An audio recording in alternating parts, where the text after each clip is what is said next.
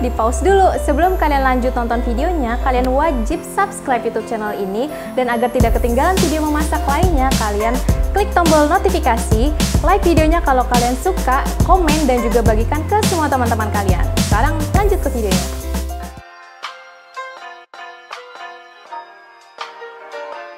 Cincang kasar 100 gram kacang tanah, sangrai kacang tanah sampai kecoklatan lalu sisihkan.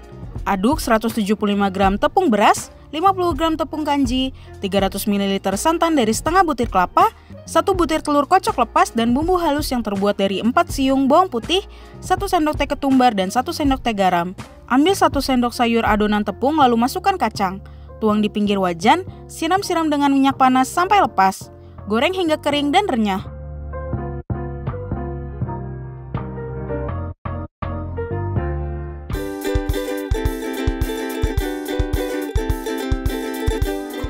Aduk rata 100 gram tepung beras, 1 sendok makan tepung sagu, bumbu halus yang terbuat dari 2 siung bawang putih, 4 butir kemiri sangrai, setengah sendok teh ketumbar, seperempat sendok teh merica bubuk, 1 sendok teh garam, setengah sendok teh terasi goreng, 1 cm kencur bersama 1 kuning telur, 175 ml air es, dan 6 lembar daun jeruk yang sudah dibuang tulangnya dan diiris halus.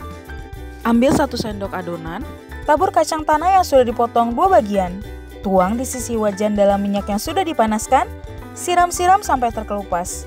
Goreng sampai matang dan kering.